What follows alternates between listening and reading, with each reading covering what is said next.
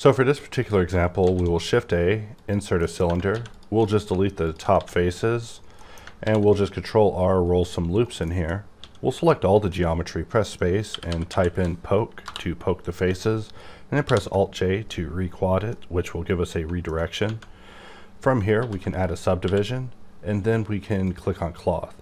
If we go under cloth, now in the floater, if you scroll over to parameters, they'll be a little gentler to transitions compared to previously.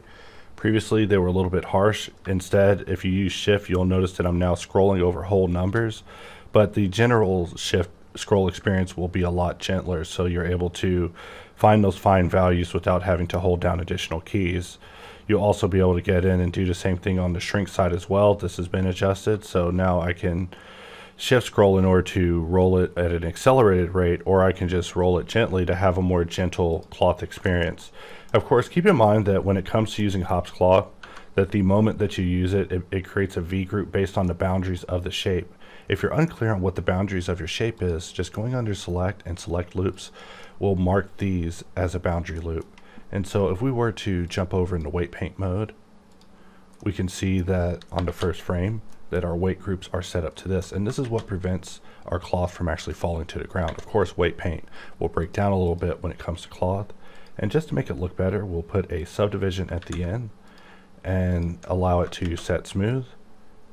And we could even, at this point, jump back into cloth, lower the pressure till we get something a little more reasonable and expand on the shrink ever so gently, depending on what level we want the cloth to exponentially add to. And then, of course, if you want it to reset with every setting change, you can still do that by turning on the reset button.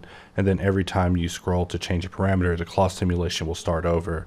For this, we'll choose apply, which means that whenever this applies, it will apply any modifiers before the cloth up to the cloth, including the cloth.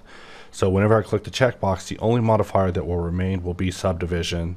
So we'll get it at a frame that we like, click apply, and there we are left with our subdivision, and this is our cloth result. So we still have flipped quad geometry, but now shaped like a cloth pattern, and we can go from there just getting more random with the shapes. But with that, just wanted to show you that there's a new interface improvement to allow for smoother scrolling.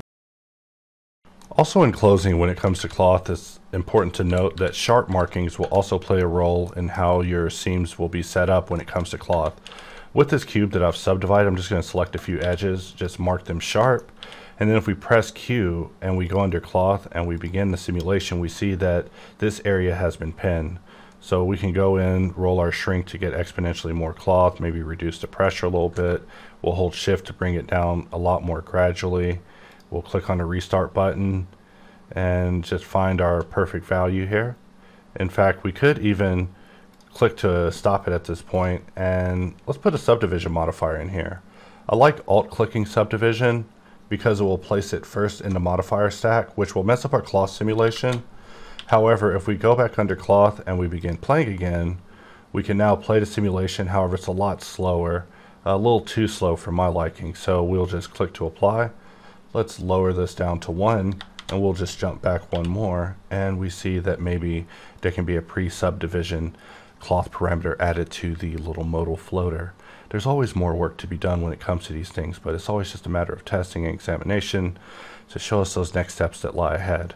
So now that we have something a little more optimal, I can just click on apply and I'll just press control tilde and we'll go under general options and just set this to smooth and we'll even slap a subdivision surface at the end of it just to really get it to looking like some well-defined cloth.